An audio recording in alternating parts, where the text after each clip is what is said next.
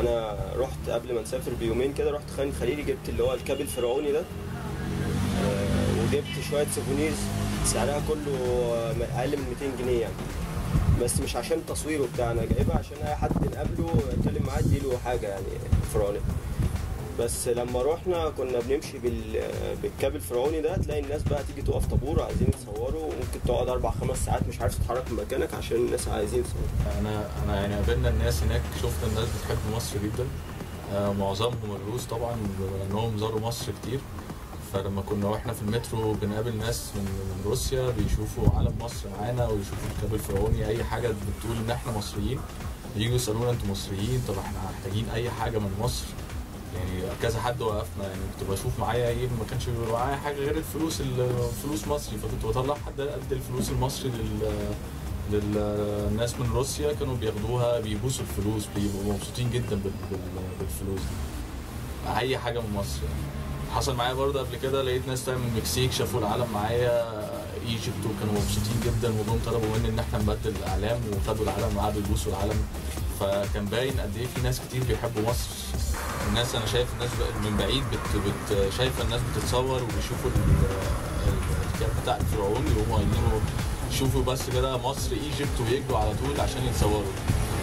كل الجنسيات فعلا زي ما هشام قال يعني كان من روسيا وكان في مكسيكيين كان في آه، إنجليز كان في كذا وفي عرب برضه المغاربة والجزائر وفرنسا كانوا بيجوا كلهم بيجوا عايزين يتصوروا. كان ماتش عادي ماتش تحصيل حاصل. يعني إحنا كنا رايحين السفر بالقطر من موسكو 24 ساعة. في كتير يعني الاستاد كان مليان. نسبة الأجانب اللي موجودة لو حسبنا المصريين كان المصريين اللي موجودين في الاستاد مصريين وسعوديين 30% الباقي 70% أجانب.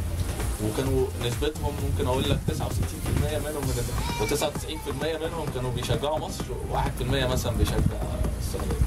كنا بنمشي في الشارع الناس بتيجي تتصور معانا وبيقفوا بالدور ممكن نقف في مكاننا أربع خمس ساعات مش عارفين نتحرك من كتر ما الناس عايزين يتصوروا معانا. فكانت مناسبة كويسة إن إحنا نوري للناس إن مصر دولة كويسة والمصريين ناس كويسين. لما كنا حتى بنديهم souvenirs حاجات بسيطة جدا سعرها هنا في مصر 4 و5 جنيه بس بالنسبة لهم هو بياخد الحاجة ويتنطط كأنه خد كنز يعني وهي بالنسبة لنا إحنا حاجة بسيطة جدا.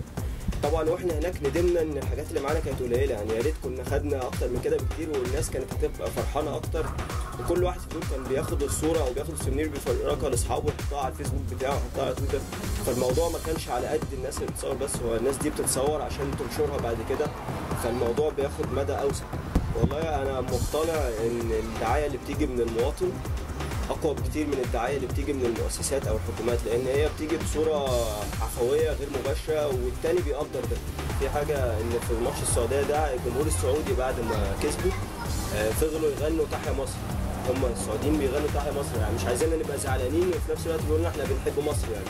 يعني حتى هم نفسهم كانوا جايين لابسين تيشيرتات محمد صلاح. إحنا في أول يوم يعني بالصدفة ادينا لل كان في ست كبيرة هناك هي ال reception المسؤوله عن ال reception ادينا لها حاجات تذكاريه souvenir فرعونيه. الست كانت فرحانه جدا ومش مصدقه فلقيناها كل يوم بتطبخ لنا. مع إن هي ما بتعملش كده مع حد بس هي فرحانه إن إحنا مصريين وإن إحنا قدرناها فهي فضلت كل يوم تعمل لنا أكل. وشوية ونلاقي مثلا بعت حفيدها الصغير بيجيب لنا شوكولاتة مش عارف إيه. كنا بنتعامل معاملة مميزة عشان إحنا مصريين يعني.